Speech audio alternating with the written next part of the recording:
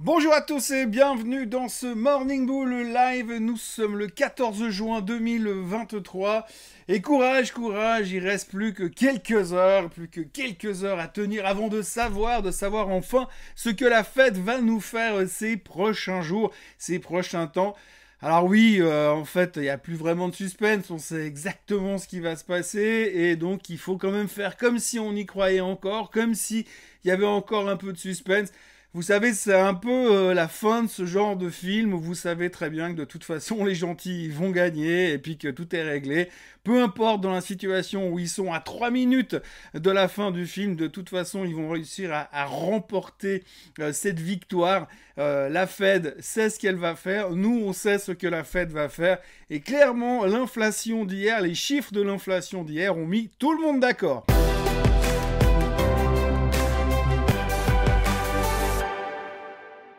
Si on fait juste un petit retour en arrière de ces deux dernières semaines, hein, pas très très loin, si on se projette au début du mois de juin, eh bien on se rend compte qu'on était comme ça parce qu'on savait pas si Biden et McCarthy allaient trouver une solution pour régler le problème du plafond de la dette, euh, parce qu'on savait pas vraiment comment allait partir l'inflation, parce qu'on trouvait que certains chiffres étaient trop inflationnistes. Et deux semaines plus tard, alors le plafond de la dette plus personne n'en parle. Vous pouvez euh, acheter à peu près 250 magazines de finances américains, pas un mot sur le plafond de la dette, pas un mot sur ce qui a été emprunté au niveau des bons du trésor, pas un mot sur le fait qu'on est en train de monter puis qu'il n'y a absolument rien qui a été mis en place pour éventuellement peut-être un jour rembourser cet argent. Rien. On ne parle plus que du bull market, que de l'économie qui ralentit juste assez pour ne pas faire trop d'inflation, mais qui est suffisamment forte pour montrer qu'il n'y aura pas de récession. Bref, on est dans un monde parfait. C'est un monde parfait. On se retrouve un peu dans ce petit monde de Disneyland, vous savez, euh, le manège là où on passe avec un bateau qui flotte au milieu de plein de monde, où il y a tous les petits bonhommes qui chantent. Eh bien, c'est un peu ce que l'on vit euh, dans le marché boursier. En ce moment, tout est parfait. Hier, les chiffres du CPI ont montré qu'il y avait quasiment pas d'inflation. Enfin, s'il y en a, mais elle était en dessous de ce qu'on attendait. Ce qui veut dire que l'on est vraiment tranquille pour la suite des événements. Jamais la possibilité d'atteindre ces 2% de taux target d'inflation pour la Fed d'ici la fin de l'année n'a été aussi proche de nos esprits. Donc pourquoi est-ce qu'on devrait se prendre la tête avec euh, les décisions de Monsieur Powell ce soir? Il n'a pas d'autre choix que de ne rien faire. Alors si on est vraiment négatif, on peut commencer à se dire qu'éventuellement peut-être quelque part au mois de juillet, il pourrait envisager une hausse des taux, mais pour l'instant, on n'en est pas là. Les chiffres sont bons. On voit très bien que l'inflation ralentit. On est à 4% annualisé. Alors, c'est vrai que si on gratte un peu à l'intérieur, il y a des choses qu'on n'aura peut-être pas forcément envie de voir. Mais c'est comme tout. Hein. Dès que vous savez que vous allez ouvrir un truc où il y a une enveloppe avec une mauvaise nouvelle, vous vous dites, bah, je l'ouvrirai demain. Mais pour l'instant, c'est ce qu'on est en train de faire. On a vu que l'inflation baissait. On a vu que l'inflation baissait à cause principalement du prix de l'énergie ou autrement dit du prix de l'essence, puisque le pétrole a baissé, il est toujours en dessous des 70 dollars. Donc ça, c'est rassurant, c'est confortable. Après, oui, c'est vrai, il y a d'autres facteurs, on va dire un petit peu moins importants que l'essence, qui sont en hausse, mais c'est pas très grave.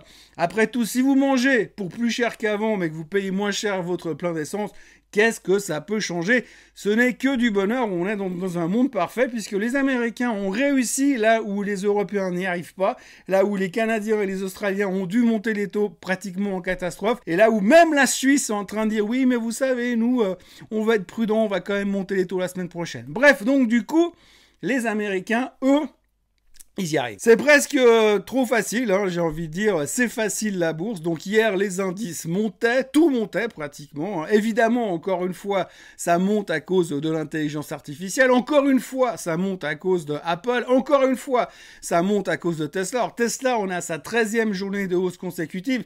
Je vous ai dit hier que c'est la 12e, donc là on a la 13e, puis demain ça sera la 14e.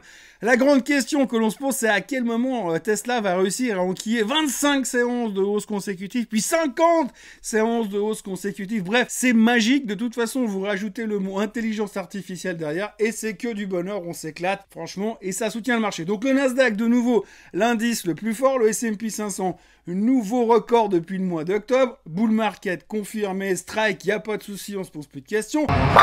Le Japon au plus haut depuis 33 ans parce qu'il parie sur une fête qui ne va rien faire aujourd'hui. C'est ce qui vient de se passer ce matin. C'est ce que les Japonais pensent. On dit oui, la fête va rien faire, donc on continue de monter tranquille puisqu'on est vraiment connecté à ce que fait la fête. Bref, tout va bien et tout se porte pour le mieux pour l'instant. On sait ce qui va se passer ce soir. Alors vous pouvez attendre, vous pouvez rester au bureau et attendre ce soir en fin de journée pour voir ce que va annoncer Monsieur Powell. Mais franchement, vous avez meilleur temps d'aller à la piscine ou d'aller manger au bord du lac parce que de toute façon, quand on regarde ce qu'on sait aujourd'hui, quand on voit ce qu'on nous a annoncé, Franchement, il n'y a pas grand chose d'autre à attendre. Et puis, sincèrement, si par hasard la Fed monte les taux de 25 basis points ce soir, là par contre, ça va être assez sympa. Ça équivaudra à peu près à sauter en parachute depuis un avion, mais sans parachute parce que c'est plus drôle.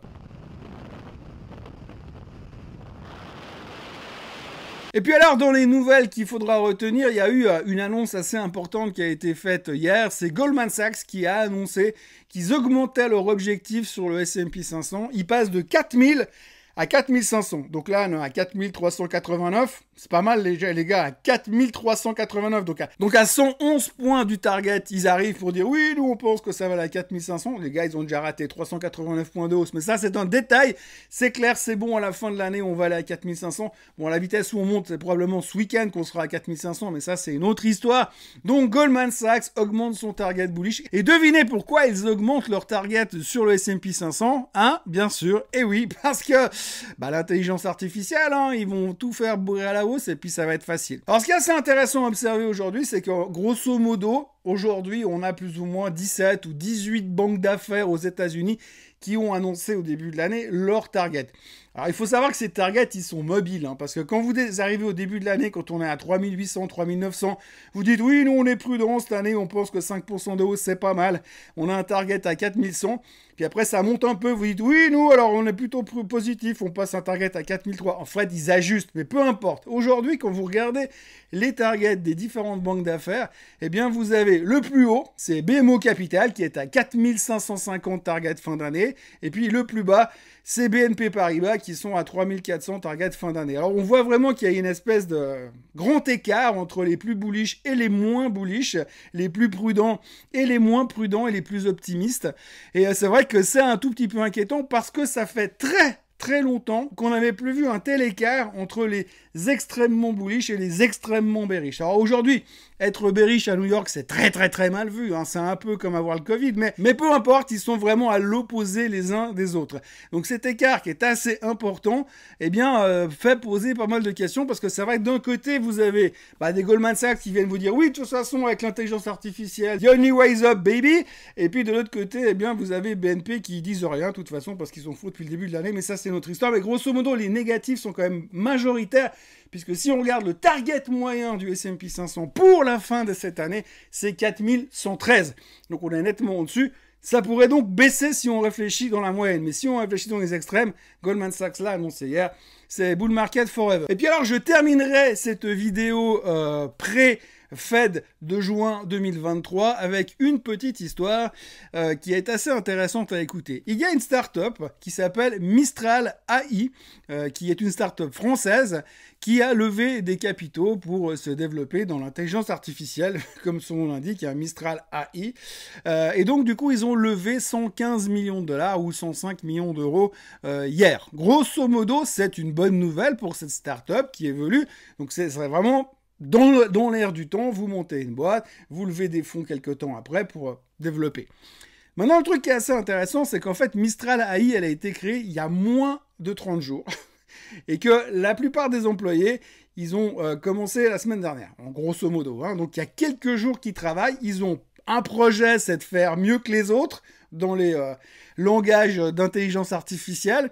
Et puis, euh, c'est de, donner euh, une alternative, on va dire, européenne à ce qui est en train de se produire au niveau de l'intelligence artificielle. Donc les mecs, ils n'ont pas de produits, ils ont quasiment pas d'employés, ils ont ouvert il y a trois semaines et ils ont déjà levé 105 millions de dollars. Alors tant mieux pour eux, c'est bien, ça veut dire qu'il y a des fonds de private equity qui sont prêts à à lancer de l'argent à ces personnes-là pour développer l'avenir, donc l'intelligence artificielle. Et euh, donc quand on revient parler, pour faire un parallèle, quand on revient parler de bulles spéculatives sur l'intelligence artificielle, ben ce genre d'événement, c'est des petits signaux qui commencent à arriver en disant hum, il y a quand même des trucs bizarres. Alors j'ai pas besoin de vous l'expliquer, si vous faites un retour en arrière sur l'an 2000, eh bien vous trouverez plein d'histoires, et si vous voulez, vous m'envoyez un, mail et je vous raconterai plein d'histoires sur cette thématique. En l'an 2000, il y a plein de sociétés qui se sont vendues 650 millions de dollars, 1 milliard de dollars, avec des projets faramineux, sans employés, sans projet, sans, sans produits, sans revenus parce que c'était l'avenir. Et puis surtout, à l'intérieur de ça, eh ben, il y avait un point com. Alors là, vous créez une boîte, vous l'appelez peu importe, et vous mettez AI derrière. Et normalement, si vous avez une jolie petite histoire narrative, vous allez pouvoir vous lever une centaine de millions de dollars, et puis ça vous permettra au moins de mettre des voitures de fonction pour le management. Et puis, euh, comme le leasing d'une Porsche, ça coûte relativement cher, eh ben dans deux ans, il y aura plus de fric dans la boîte. C'est un peu un risque qui se présente aujourd'hui. Alors, je dis pas que c'est le cas de Mistral AI, je dis juste que ce genre d'événement sur une thématique aussi spécifique, tout d'un coup, parce que depuis deux semaines c'est hyper populaire, eh bien ça donne quelques signaux de danger, on va dire. Voilà ce que l'on pouvait raconter aujourd'hui. Je vous encourage donc à vous abonner à la chaîne Suisse Côte en français, à liker cette vidéo, à la partager, à revenir, bah, pas demain, parce que demain, euh, il n'y a pas Morning Bull, parce que demain, il y a euh, Swiss Code Trading Day, et euh, bah, vendredi matin, je pense qu'il n'y aura pas Morning Bull non plus. Donc, a priori, en ce qui concerne les Morning Bull, on se retrouve lundi prochain. Et en ce qui concerne Swiss Bliss, on se retrouve samedi. Passez une excellente journée et puis j'espère vous voir demain au Swiss Trading Day à Genève. Je vous rappelle que l'inscription est gratuite et que vous pouvez venir à partir de midi et demi au BFM demain Genève. Allez, bonne journée à tous, bonne intelligence artificielle et puis alors bon meeting de la fête ce soir. Bonne journée à tous, bye.